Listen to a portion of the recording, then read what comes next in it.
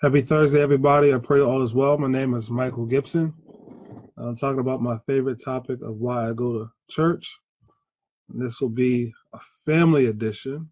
I have a special, special guest, Evangelist Linda Gibson, aka my mother. Would you like to say hello? Hello, everyone. Nice to have something to say. And I'm here to say why I go to church. So, you know, I talk every week about why I go to church, and one of the most important things I tell you is that we are the church. Where we go to fellowship is literally where we go to fellowship, but we we are the church. And if you don't recognize that you are the church, that's half the problem. Because for many of us, we're the only Bible that most people will ever read. And I think it's imperative to recognize that we are the body. And for a body to fully function and operate properly, you must practice operating properly in your private time. For me, many people say they love God, but you only see it on Sunday. Monday through Saturday, I don't know where they be. I don't know if they read a Bible. I don't know if they pray.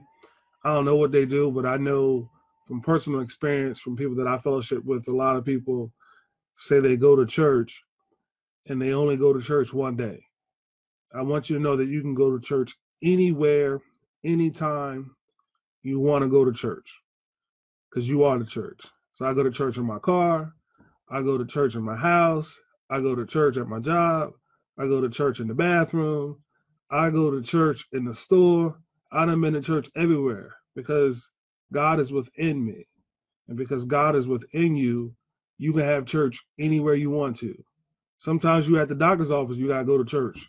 Because that doctor's saying something that you don't like. And you gotta say a little prayer between you and your heavenly father. So just know that you can go to church anywhere. But I have my mom, evangelist Linda Gibson. So this is because it's in my blood. The reason why I say that is because this is what I know. This is all I've ever truly known to be true. So I'm going to ask her. She don't really do too many Facebook lives, but she's not a stranger to preaching because I've grown up listening to her preach for for many, many, many years. So, Mom, why do you go to church? I go to church because I love the Lord, and payday is coming after a while, and I know there's a real heaven and there's a real hell. And because I know this, I, I sing a song to take the Lord along with you everywhere you go. And when you go everywhere, yeah, if he's in you, you're going to take him everywhere. So he has to be a part of your life. You have to love the Lord and know that he's real, regardless to any situation that you be in, regardless to what it looks like. If you know that there's hope after the end and you're preparing to leave here. So many people say there's not a hell, you know, hell's on earth. But I want you to know this is a real hell. And when you get there, it's no turning back. We sing a song, No Turning Back. I want you to know I take the Lord with me everywhere I go. When I go in the store and when I see people and they'll ask me, said, uh, how are you? And I'll say, I'm blessed. And they look at me and I let them know that I'm blessed because I'm in the land of the living. The Lord allowed me to see you today. And I got here in one piece. We take that for granted. But God has control of our situations and our circumstances. And I've been, my mom brought me up in church, and all I know, mom would say, pray. And if you pray to God, He will answer you. I'm not talking about praying to somebody that can't answer, but the God I serve answers all the time. Say, may not come when you want Him, but He's right on time. And there's power in the name of Jesus. And I take Him with me because He dwells within me and he has to be a part of you. It's not just a one time saying, Lord Jesus, come into my heart and he come into your heart and you haven't changed. When he comes into your heart, he will truly change you. He'll let you know when you get ready to do something wrong, when you make the wrong move, make the wrong decision, say the wrong things. The Lord will let you know you shouldn't say that. And sometimes the Lord will let you know that you need to apologize. And that is the hardest thing to do when you make a mistake and you hurt somebody and you want to get back at him. And scripture said, He that winneth souls is wise. So you have to learn how to choose what you say. Even when you get upset, a lot of times I'll say, Lord, give me grace. God, help me to say the right thing. I don't want to say the wrong things. So That's why I go to church because God answers my prayer and He hears my every groan. He says, Sister Gibson, you don't cry. I do cry. But when I cry, I cry unto the Lord, and He hears me and He delivers me and He gives me the strength. Step by step, I go to church. Step by step, I say, God, lead me, guide me, help me to say the right thing, help me to do the right thing. Do I make mistakes? Yes, I make mistakes. But the word of God let me know I can come to him boldly and I can confess my faults. He's faithful and just to forgive us. And the most important thing, you have to learn how to forgive yourself. So you've made mistakes and nobody seems to understand. God's understands. And that's why Michael's telling you he goes to church because God is a deliverer. He's our defense. He's our strength. He's a very present help in the time of trouble. He's there before you get to the trouble. And a lot of times he warn you. Somebody will say, You shouldn't do that, son. You shouldn't do that, daughter. And nowadays, I go to church. I say, Lord, I thank you for the training that I have. I thank you because you know what? It takes a village to raise kids. And today, our society, our kids is raising us. And there's something wrong about that. And what's wrong about it is the scripture said, train a child in the way he should go. And when he get old, he won't depart. But if you don't let him know there's a God, if you don't let him know that you can pray and God will work it out, they don't know nothing but cussing and dancing and doing the things that are out of the will of God. What are you doing to impress upon your child that God's a prayer answering God? Let them know that God loved them in spite of, and He promised to supply all of our needs according to His riches and glory by Christ Jesus. You can only do it through Him. So He's the only one I know that can pick you up when you fall down and he can make your pathway clean and he can wipe the slate clean. People hold stuff and said, I remember when, but when God forgive you, he don't keep bringing it up. So somebody today, learn how to forgive and don't keep bringing it up. When you spill a glass of water, you can't put it back in the glass. So what am I saying? You might never forget the hurt, but you don't have to keep bringing it up. So the reason I go to church because God is real to me. He supplies my needs and he's my joy and he's my peace in the time of trouble. A lot of times stuff happen. I say, Lord, help me. You're the only one can help me. You're my defense. And I come to tell you, if you get in God and get somewhere where the word of God is teach, where the word of God is explained to you and let you know the word of God said, holiness without no man can see the Lord. You're not going to enter in without being holy. You're not going to enter in without being clean. You're not going to enter in. They says you can call anybody. The only one to call is Jesus. I don't care what they tell you. Jesus is the only one. So I am the way, the truth, and the life. And I want you to know, except you go by Jesus, you can forget it. You can forget it. You can forget it. He, so, let, so let me ask you this question you said your mom introduced you to this man we call Jesus Christ. So, how young were you when you uh, first started seeking after God? I was young. I can really say since I was a little girl, I can I can remember first time my mom took us to church and we were going to join church and my daddy didn't believe church, so we were going to get we was going to get baptized so he came to make sure we didn't join church when we were in the Methodist church. And he fell asleep. By the time we woke up, you know, they already called us we join church. But by the age of 12, I came to Havre de Grace, Maryland, where my pastor's Bishop Harry T. Lee. And back then it was Bishop Charles Johnson. And I heard the word of God preaching. My mama always used to say, God, if there's a better way, let me find it. If I'm missing something, let me find it. And when we got there, he was preaching that holiness was right. He was preaching that you needed the name of Jesus. He was preaching that you had to be baptized, had to be born again in the water and in the spirit, and have to go down in Jesus' name. The scripture said, Neither is there salvation than any other than the name of Jesus. And as he began to teach, my mom got baptized. She went down in water. You know, when we little, when they said, Have you been baptized? And they said, Well, we were christened and we were baptized. To be baptized means to be immersed in water. So you had your little baby sprinkled. So sprinkle your so sprinkling is not enough. Sprinkling is not enough. Said you got to be baptized in water, Submerged. submerged, completely covered. We won't drown you though. We won't drown you. I'm telling you. So if you you've been you know you've been christened, you ain't been baptized. You got to go down in the water. And I tell them all the time, we don't baptize babies because they don't know nothing and they can't even hold their breath. You know when they get ready to baptize, you say hold your breath while we dip you down. The baby can't do that, and you're supposed to know what you're doing. So I want you to know, if you got christened, you ain't baptized. You haven't went the right way. You need to find somebody that's going to put you down water in Jesus' name.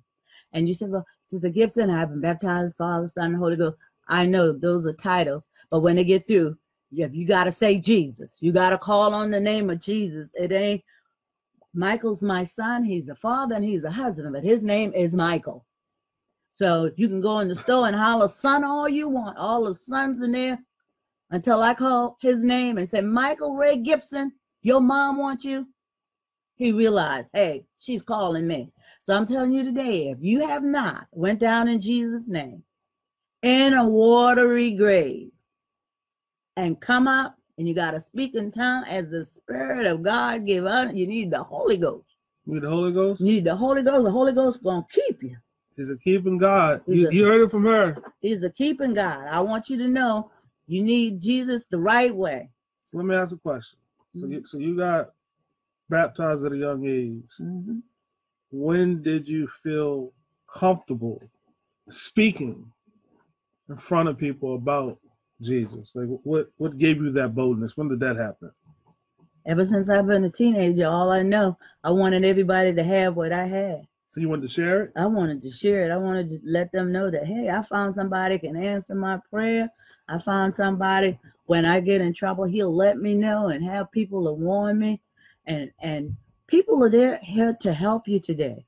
I don't have the scripture on hand, but Proverbs says that we should train our children and that we should let them know, give them the rod of con- of correction. So find that scripture in Proverbs. It'll let a mother know that a child left to himself will bring his mother to To shame. open shame. It don't say open, says to shame. To shame. Wow. To shame. Wow. So all you mothers is think it's all right to let little Johnny do what little Johnny want to do. You need to find that scripture. And it's in Proverbs. I, I don't know exactly where. But it'll let you know. it- and I used to say open shame, and God told me one day, say, scripture don't say shame. Don't say no open shame. So I said, Lord, I got to find. I think Proverbs 29 and 17. One of those scriptures. I want you to find it. It tells the woman the mother to train that child to train them and the rod won't hurt him scripture said beat him and won't die now they tell you your little johnny can say anything i want you to know when you get in god right it'll make you train your child right it'll let your child be respectful we got so many disrespectful children because their parents not taking them to church and they don't know you say honor your father and mother i can't honor you when you ain't teaching me nothing you got to mm. teach somebody something. What are you teaching little Johnny? Are you cussing little Johnny? Giving little Johnny a little drink and say, go to sleep? Take him to church. I want you to know I love you. And I want you to know that God is able to do anything but fail. So it's Proverbs 29 15.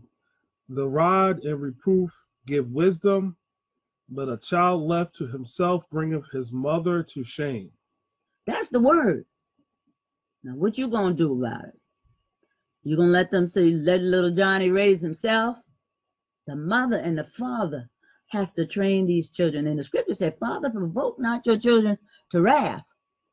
You don't have to provoke them, but you need to give them the word of God. That's why I go to church. And I tell Michael them all the time.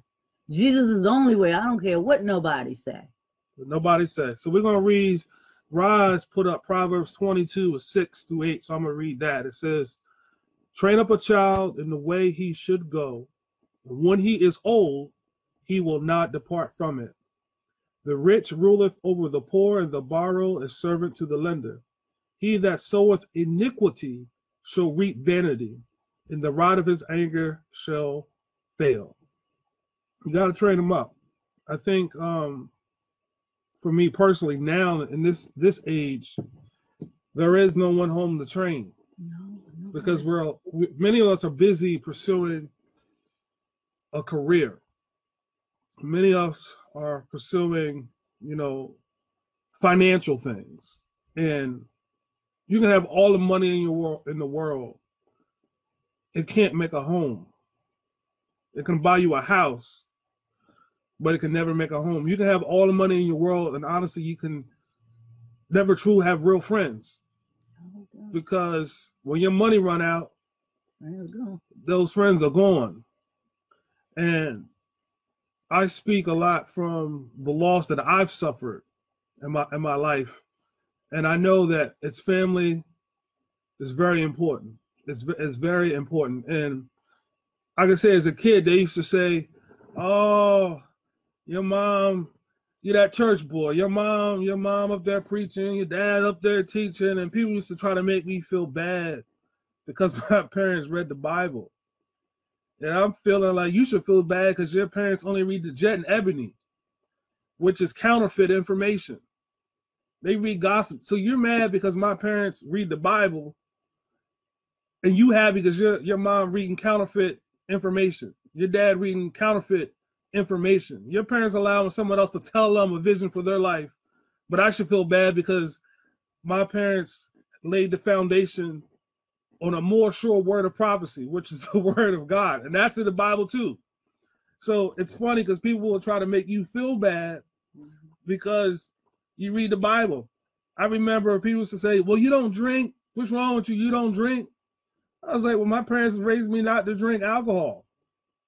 It's okay, you want to drink alcohol, but that's just not what I do. And and I I'm fine drinking, you know, non-alcoholic beverages. There's plenty of things that uh I could do and be happy. So it's it's it's funny because it's come full circle for me because there was a time when you're young and your peers they they they really would try to make you feel bad, but then you realize how much dysfunction other folks had in their life. Mhm. And I realized the reason why we functioned so well was because we had the word of God. And I would rather function properly than have what I call a fugazi life, a fake life, with all these amenities around me. Because you could have a lot of things around you, but that don't mean that you have peace. That don't mean you have, you know, all your mental faculties. Because I've seen a lot of people burn out from work. I've seen a lot of people burn out trying to live up to the Joneses, so to speak. Mhm. And my greatest role models were my my parents. I mean, honestly, I mean, I never really looked up to these crazy superstars and nothing. That just wasn't my thing because they weren't tangible. So I'm very happy for, you know, the foundation that was laid for me, and I, I'm I'm very thankful for my mother. You know, moving from Charleston. I didn't I didn't know her then. She wasn't my mother at the time, but I'm I'm glad that she moved up here and she she found a a thing. So t- I got a question for you. So when you met my father, was he saved? No, He wasn't saved. no. So why he get saved? You think? Well, he liked me, and I told him if he liked me, he had to go where I was going, and I was going to church. You hear that, ladies? Did you hear that? Repeat that, just for the people that might be wondering. Repeat that. He liked me, and I told him I was in church, and if he wanted me, he had to come where I was, and he came to church. So the moral of the story is you don't want to let down your standards to get a man. If you love God and the things of God, you don't have to go get a worldly person.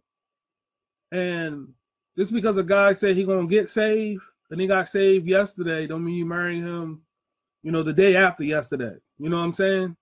Make sure that he's right because there are men that will come into church just to get you out of the church. But if you have a foundation of saying this is where I'm going to go, this is where I'm going to live, this is how I'm going to roll. If he love you and he wants you, he'll get his act together. Now, hopefully, he'll love Jesus like in the process And stay. and, and stay. We, we we want him to stay, but anything, anything that you can use to draw him, I think is a positive. It- it- it's it's a blessing. So this is what I know. I mean, when I say this is what I know, this is what I know. A lot of people don't know uh, church like I know church, but we are the church. And I know my mother and my father. Hey, Tim, I'm, I, will let her know you here. Tim Grimsley on the line. Tell him, praise the Lord. You can tell him, praise the Lord. Praise the Lord, Tim. Uh, I'm glad you're looking in and listening. We uh we we grew up in a very close knit church, and it was really odd as I got older seeing all the different things because we would actually grow go to our, our church councils and we literally stayed in each other's houses when I was a kid. So we didn't go to like hotels and motels. You was rolling up in people's cribs, sleeping on the floor, uh, using their bathrooms, their facilities, and, it's amazing because there was just so much love because it was about the church. And when I ask, I keep saying we are the church. I have people on this line today, you know, hey, hey, Mike Jones, uh, that are my family. And they're not my blood family, but they're my family because we was raised in the church together. And it was just about doing things with such a brotherhood, a sisterhood. And it was like everybody was my parents. I mean, Bishop Mack, uh, uh, Bishop Kelly, Aaron Kelly, uh, even, you know, Bishop Foster, uh, Sister Fickens, Evangelist Fickens, the Harris family, Bishop Harris. They weren't bishops all at the time, but it's amazing how like the relationships that I have with the Grimsley family, the Harris family, the Fickens family, the Carmichael family. These people are still like my brothers and sisters today. Mm-hmm. Um, and and if I needed something, they would help me. No, no, no, no doubt. Yeah. And it's like I don't even see them every day, but we pick up just like yesterday because it really is a family and you really create a bond. And one of the reasons, you know, I, I believe God put it on my heart just to talk about church is because we're not weirdos, we common people. Like I remember we used to have the young people, we would go to amusement park every summer. And we would go, we would ride, we would do things like normal people do. Uh, we'd have a church picnic at Lum's Pond, and we'd have the the baseball game, and we would play baseball like normal people play baseball. Tennis, tennis, bicycles, um, just normal things. And people think because you go to church, uh, or you have a family who's full of people that love God, that you do some weird, strange things. Like we do normal things. We go eat together, like at a restaurant I mean, my church now, we go to Shady Maples, the, the men do, and we go eat and we have a good time. We go hang out. We've gone bowling. There's plenty of things that we've done as a church family that is normal. And and my cousin uh Sheik, uh Adric Turner Senior now, he don't use Sheik anymore, or he might. But anyway, every New Year's for probably about 18 years, he would stay the night and we'll make pancakes. And we have pancakes. And to this day, these Amen. years later, we still, yes, Lum's Pond, man. Lum's Pond was a beautiful place. It was it's just some great memories. So it's in the family, man. It's it's it's in the family, and I don't think you should ever be ashamed to just to be like, I love God, I love the things of God, because oh, musical events, tons of musical events. I mean, that was one of the, the, the best parts about for me for church um, I mean, the preacher's always good, but as a kid, the music. I mean, you want to talk about you thought you think you saying something because you saying like Beyonce. I'm gonna just use her because that's what I can think of right now. Man, when you had Corey Carmichael, Chrissy Carmichael, Sylvia Grimsley, then you put um some of the other Grimsley sisters, and then you put the Harris family together. Then you had the Fickens, you had Marcy Fickens. Man, I'm telling you. And then when we brought Joe Thomas on on the on the track, man, our church, that song be jumping. I'm talking about we should have paid, we should have charged people to come to some of them services. Some of the look, some of y'all know Mark Grimsley, uh, that's local on the line. Y'all know Mark Grimsley is probably one of the the the, the dopest piano players out there. We had Mark Grimsley, we had John Grimsley, then we had Wayne Grimsley when the when the Newark uh, New Jersey people would come on. I mean, it was, it was fun. I mean, my mom would tell you, we would be in church 12, 1 o'clock. And people and people be like, where you been at? Church. Church. they be like, you couldn't be in church church that long, just hours, just feasting and and and dining on the things of God. But most importantly, people that love God are people. We're people. We're people just like you are. But but we we try to do what is right because we know what is right. And I think that's one of the biggest things is that you know what is right, so you do right. I don't have to do right because you're watching me. I do right because of the God inside of me. because God lives inside of me, I do right. However, that don't mean I don't make mistakes. That that that don't mean that I won't slip. That don't mean that I won't fall. However, we should be practicing living right as a practice. Every day. Because a person that practices sin is a sinner. Just because you sin don't make you an active sinner, right? But if you practice sin, then you're a sinner.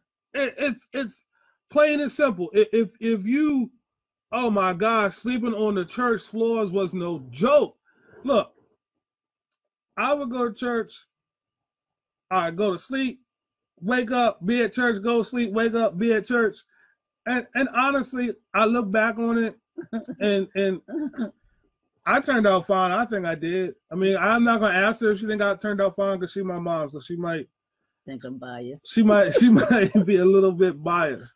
So I got a question for you. When when was the first time, if you can recall, you ministering publicly? Like at a service. How how, how did that feel? It was good. It was good to me. To you? Yeah. Now I remember growing up, used to uh, go on the broadcast and used to speak uh, and make your tapes. Mm-hmm. How, how how did you get comfortable just talking with nobody there? That was kind of hard.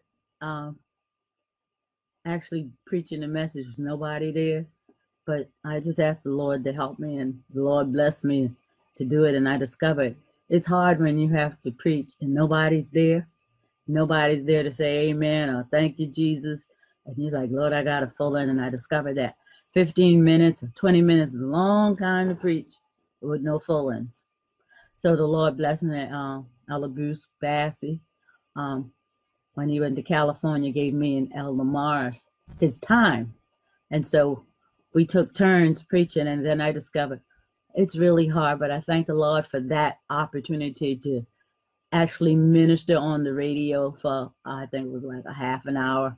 I really appreciated that time. And then after that, I helped do the broadcast of Gospel Tabernacle.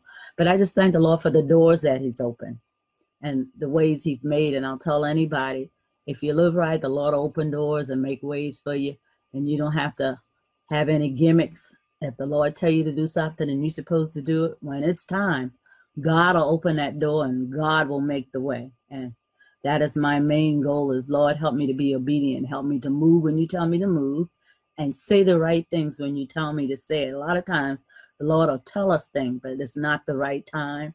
It's not time to move. But when God tell you to move, I don't care who it is today, be obedient to the will of God. And if you ask God for the right direction, He's going to send the right person at the right time. And you'll know it. You don't have to worry or wonder about it. I just want you to know that God's a God that answers prayer and you got to pray sincerity. You ain't got to scream. You don't have to holler. You don't have to fall out. You can just whisper prayer because God hears our every groan. So I just want you to know that. Find a church you can go to where the truth is being preached and where they're not sugarcoating God's word. Sin is sin, and I don't care who it's in, and it has not changed. Holiness is right. It's either holiness or hell. So I got a question.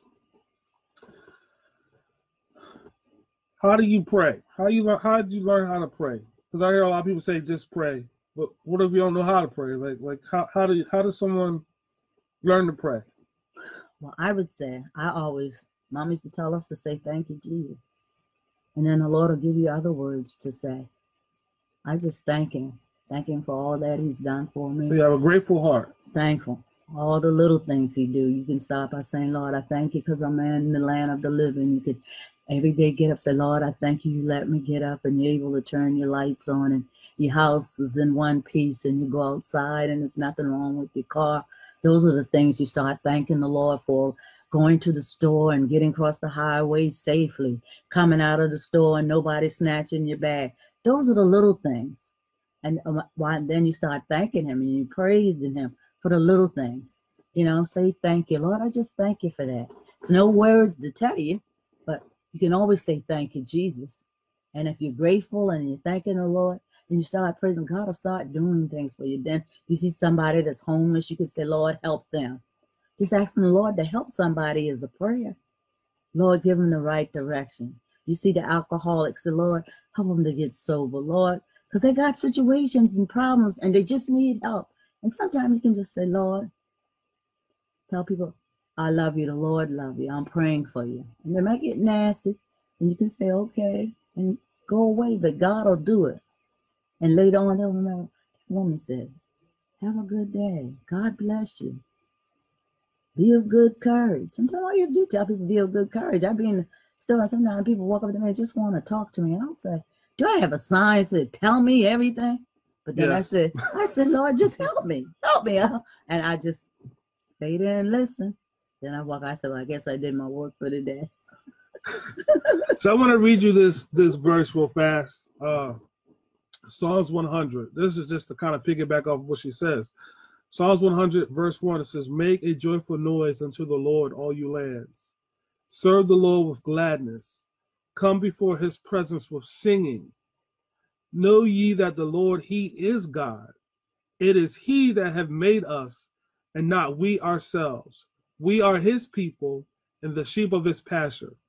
Verse 4 Enter into his gates with thanksgiving, and enter and into his courts with praise be thankful unto him and bless his name. For the Lord is good, his mercy is everlasting, and his truth endureth to all generations.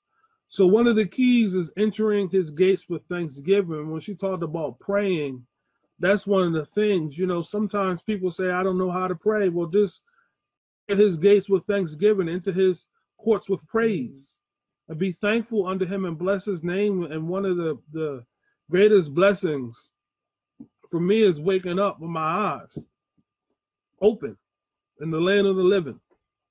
I know people say, you know, to be absent from the body, to be present with the Lord. I know people say that. Well, I like this life that I'm living right now. So when that day comes, you know, I'll, I'll, be happy to be absent from the body, you know, when that day comes. But right now, I'd rather wake up in the land of the living because this is what I know. But I know that he says men ought to praise him. Pray we, we it I think we just gotta learn, and this is just this is a Michaelism, this ain't a Bibleism. We gotta learn that it is God's will for us to prosper and be in health, even as our soul, that is our mind, our will, and emotions prosper. God's ultimate goal for us is for us to prosper in our mind. You have the the devil, when I'm saying the devil, when Jesus fasted for 40 days, the thing that he promised him was fame. The thing that he promised him was you can have all the kingdoms. You, you can have all of it. He even challenged him, if you be God, jump off of this thing, the angels will catch, catch you. He challenged God on all those things. But if you look at that, all that was testing his mind. It was testing his mind because he was saying, Are you God? You don't got to prove to people that you're a Christian. You you don't got to prove to nobody. You don't got to be up in these streets arguing with people. You love God. You give your heart to God. You don't got baptized, and you know that you made a change in your life. You don't got to be arguing with people. You you just say, look, it is what it is, but you don't need to be tempted to in your mind and be tormented in your mind because that's what the enemy does. He's plays with your mind. But God says he's come that you be prosperous in this thing. The devil will give you everything. He'll give you money. He'll give you fame, but he's not going to give you peace here. You're going to have money, but you ain't going to be able to sleep. You're going to have women, but you're going to be wondering which, if, if I hope this one don't catch me while I'm here. you're going to be partying, but you're gonna be wondering who's robbing me uh, of my money. You, will have all that stuff, but you won't have peace here. He he is the only person I know that brings peace here. He the only person I know that bring peace here. And that's God's goal is for you to have peace here. Here. If money is no good with no peace. That's why Biggie said more money, more problems. Yeah, you got more money, more problems because the people that you have around you, I don't know if they really love you, they just love your money. And I'm not against money, but I like money. But I, I would rather have peace and have no money than have a lot of money and no peace. That's just just for me. Because Robin Williams, I think about him all the time. We talk about how he was such a great actor. And the man had no peace that he took his own life because he had no peace. Oscar winning actor, comedian, every accolade that you could think, but he had no peace. And the word says that he'll give you peace that surpasses all of your understanding. And the one thing I'm gonna close on, this is gonna be personal, mom. So how do you still go to church and love God after your mother is no longer with you, after your your husband is no longer with you, how do you still say God is a good God and a loving God after you have to deal with the loss of loved ones? Well, I just say, Lord, you know, and you promised you wouldn't leave me, nor would you forsake me. And people that live for the Lord, the scriptures say, absent from the bodies to be present with the Lord. And we sing a song, if we die now, we won't have to die no more. So he's went to be with the Lord, and they went to be with the Lord, and we all have a hope. And I one day I plan to be with the Lord, and I plan to trust Him. So even though they're gone, I still have their memories, and their memories never die, and you can hold on to good memories. And a lot of times I go to church, and my mom always used to say us when we had problems. She said, "Just pray." So I just pray and say, "Lord, give me strength, take me through." You're not gonna leave me. And I, I told a brother the other day, I said, even though people die, your memory love, lives on. So you hold on to the good memories, and they'll never, they'll never, you know, they're gone. But you got the memories, and you have those thoughts and those moments, and you sometimes you laugh and you cry. But God is the one that gives you strength. And so I said, Lord, you said you're gonna give me the strength, so I rely on Him doing that and I sing a song as you call on Jesus, he'll answer prayer. He'll answer prayer. So that's what I do. I said, Jesus, you got to help me. Lord, I thank you for strength. Lord, you got to help me. And I'll say a lot of times, Lord, you're going to get me through this. Because that's why I go to church. Because I know Jesus is my source. And he's my answer. And he's my deliverer. And he gives me the strength. Say day by day, said step by step, I can make it. Only reason I'm making it because Jesus is holding my hand said he'll never leave me, nor will he forsake me. But you got to believe that. You, got to hold God's word to that. You got to believe that he is the source that you need. So God is the source of your strength. And he says that he is a rewarder of, of them that diligently seek him. So in closing, I guess, I'm not going to close multiple times, but I go to church because it is in my blood. Spiritually, and naturally. And I'm proud, you know, to call this woman my mother. I'm, I'm proud to call Bishop Lee my bishop, my pastor, because I will never be ashamed. Because when I played football, I was not ashamed to wear that jersey on my back that said Havre de Grace Warriors. When I had that track suit on, I was not ashamed that it said University of Delaware.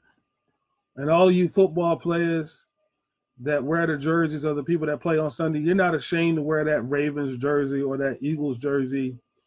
You're not ashamed to buy that LeBron jersey, Anthony Davis jersey, all these people's jerseys. You're not ashamed to put those people on the, on your back. Well, I know those people, unless you personally know them, are not going to do one single thing to increase my life except entertain me. That's it.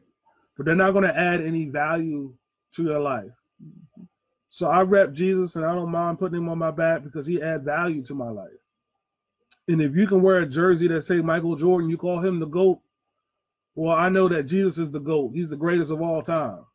He's the greatest human being that ever walked this planet. And I serve a God that's greater than any other God that is on this planet. And the reason why I said any other God, because he said he he he does stood in the valley of the gods. But every knee will bow, mm-hmm. every tongue will confess. And that's what's so awesome about the Bible, because you know, even when when God came and he, he ran into the God, the, the spirits in them said, Why you come to torment me before the time? They knew what was up. The God says even the devil knows that he is Lord, right? He trembled. And he trembled. The devil knows that he's Lord. And you ain't smart enough to figure out that he's Lord. If the devil himself know that he's Lord. So he know he ain't boss. So Lucifer is a created being. Understand that. And that God created all of this. But, but we serve a great, big, wonderful God. We we really do. And I would say in closing that I've gone through loss. Obviously, was my father, um, my grandmother. I mean, I had uncles that passed away this year.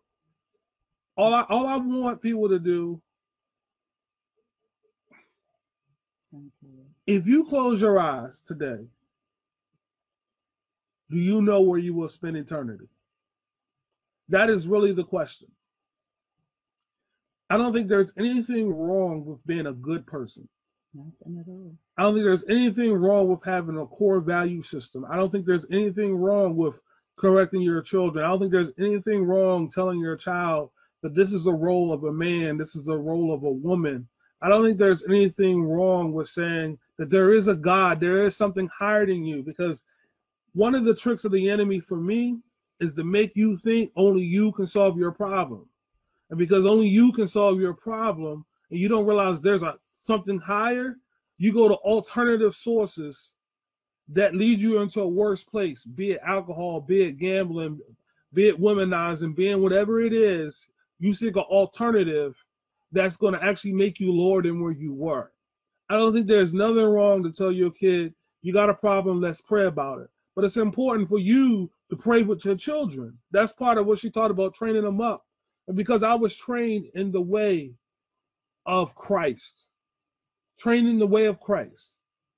My dad took me places. My mom took me places. But my mom expressed the importance to me to put God first. And I don't think there's anything wrong with putting God first. It's okay to have a career. It's okay to have a good job. It's okay to have all those things but they can't be first. When you put God first, all those things will be added unto you. He says, Seek ye first the kingdom of God, then all these things will be added. I believe when you seek to add all those things first, that's how they crumble and that's how you lose your mental stability because you think you're holding all of those pieces together. And when you think that your job is your source, when your job is gone, you can crumble. I love my father, I love my grandmother, I love my aunts and uncles, but they're not the source of my happiness. Jesus is the source of my happiness. So when I am lonely, Jesus can give me joy. He can give me a spirit of praise for that spirit of heaviness that tries to come on you. So just because heaviness tries to come on you, you don't have to keep it on you because what we fighting is a spiritual battle. Yeah. Our weapons of warfare are not carnal, they're mighty. Look, you're not fighting with this. You're not fighting with this. You might feel like you, we're not fighting with this. The enemy is after your mental real estate because he knows that God is the one that gives peace to your mind. God is the one that gives peace when you're laying that loved one down. God is the one that brings peace when you've gone through a loss. God is the one that brings peace when you was in a car accident. God is the one that brings peace when your body is is hurting you and you on that, that hospital bed and you think like, I don't know what else. God is the one that can bring peace in those situations. And I'm speaking from my own personal experience. When the doctor say there's nothing else I can do, still small voice will say, I got you. So even when I felt like crying and I felt like giving up, there was a voice that say, I got you. And then I could open up the word and God could give me a scripture and that I could find comfort and peace. So it's about having that peace. It it's about having that peace that surpasses all your natural understanding. And I don't believe that you could ever get that true peace outside of God. Remember, man in the beginning in the garden, they wanted to, know the knowledge of good and evil so that they could be like God. That's what they thought. Well, well when you know evil, evil is depressing. Evil is depressing. Look on your news, you see evil every day, it's depressing. Mm-hmm. So the knowledge of evil wasn't a good thing because knowledge of evil can leave you melancholy and downtrodden. But I'm telling you, when you get into this word, it can change your continence. It can actually give you hope. I think hope is one of the, the most important things that we can have is that we know that God is in control. So it don't matter about who's in the White House, God's in control. It don't matter about who's your governor, God is in control. Because we are in this world, but we are not of this world. We walk on a higher plane. We are governed by a higher authority. I know there's a rules. There are. I know that there are laws. I know there are things that we have to abide by because we live in the United States of America. But I know a God that can bypass all laws. I know a God that can bypass all rules. I know a God that basically say that I don't have the money for it, but somehow I get the money for it. I know a God when they say we about to turn off your lights, somehow your lights stay on. I know a God that when you hate your job and they say you got to come back to your job, somebody will call you within hours saying, I got another job for you. I know a God that when you lost a job, you get a job making 20, 30% more than the than the job you had the first time. I know a God that just keeps showing up. I know a God that when I lost a child, he said that I would have more sons. And I see it every single day, me getting more sons. So I know a God that just never fails. He keeps doing great things. He keeps doing great things. He has he's he's never lost. He's never lost. I don't care what anybody say, he ain't never lost. So if you think you lost, hold on. Hold on. I promise you a change is going to come if you hold on. So this is why I go to church. Mind you want to pray outside? We don't usually pray out, but since I got a special guest, you can pray out and then I'll close. Go ahead. Lord Jesus, we come right now, Lord. We thank you, oh God, for this today, God. Lord, we ask you to touch those that are under the sound of my voice, God. Those that are in trouble, Lord. Those that are being abused, God. We ask you to fix it, God. Knowing, God, that you're able, oh God, to break every habit, Lord. Remember those that are sick today, Lord, in the hospital, Lord. Remember those that are in jail that are innocent, oh God. Lord, we ask you to undertake, even for the president, God. We ask you to save him, God. Realizing, God, we know that prayer changes things. God, we ask you to bless everybody, oh God, that listen to this broadcast. God, those that are out of your will, God. Give them a mind to go somewhere, Lord, uh, where they can get the real truth, Lord. Uh, knowing, oh God, if we call you, you will answer prayer. Uh, God, we thank you in advance, oh God. Uh, even the jobs that they need, God, we ask you to open the door, Lord. Uh, God, we ask you to move the hindrance, oh God. Uh, help them to step back, Lord, and let you do it, God. help them to obey your voice, Lord. those that you're talking to today, Lord, help them to say yes to your will. God, lead them to the right place, oh God. help them to make the right decision, Lord. We ask you to bless those, God. In the name of Jesus, Lord, those that are in trouble today, uh, God, we ask you to fix it. Uh, Lord, the drug addict, oh God, the homeless today, uh, God, we ask you to reach down and fix it for them, Lord. Remember that mother that's looking for a child, Lord, that father, Lord, that wife, oh God, concerned about her husband, God. We ask you to move in the name of Jesus. God, send healing, send deliverance, oh God. Bind every spirit that's not like you. God, shield and protect us, oh God. Keep us covered by your blood, Lord, because uh, there's power in the name of Jesus. Uh, there's deliverance in the name of Jesus. Uh, right now, in your name, God, we give you glory and honor and praise in Jesus' name. Amen. God bless you. Well, there you have it. That's why I go to church. Family edition. It's in the blood. I encourage everyone, if we don't have a church home, find one. Find one. Don't run from God because he's in a fixed position. He's right where you need him to be when you want to open up your heart to accept him. So again, this is Michael Gibson. That's why I go to church. This message has blessed you. I ask that you share it out. And this is Evangelist Linda Gibson, my mother. God bless you. And I go to church because it's in my blood. Stay blessed.